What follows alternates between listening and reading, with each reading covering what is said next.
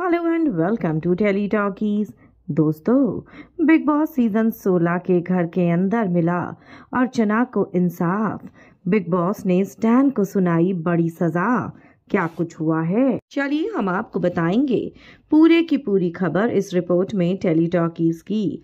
लेकिन अगर नहीं किया है अभी तक आपने चैनल को सब्सक्राइब, ज़रूर करें और बेल आइकन को दबाएँ।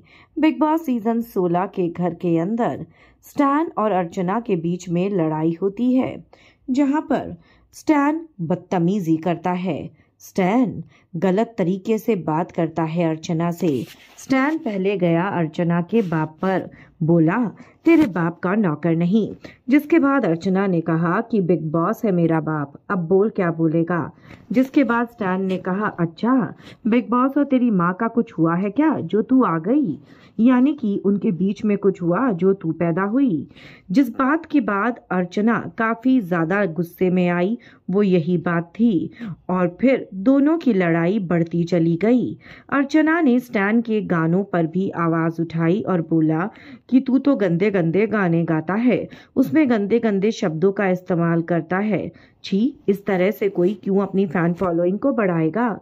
मैं तो तेरे फैंस को बोल रही कि तेरे बस का तो काम करना ही नहीं है। तेरे को तो सलमान सर देखेंगे।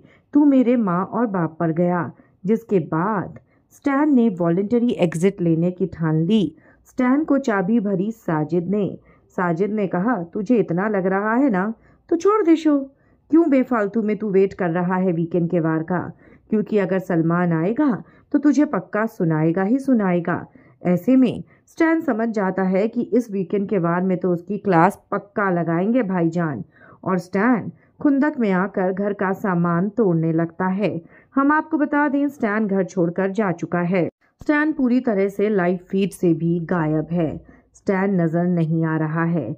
जिससे कहीं ना कहीं ये बात साबित हो जाती है कि स्टैन ने छोड़ दिया है बिग बॉस सीज़न 16 क्या कहेंगे आप? कमेंट्स में आप ज़रूर लिखकर बताएँ। वीडियो को लाइक और शेयर करना आप ना भूलें।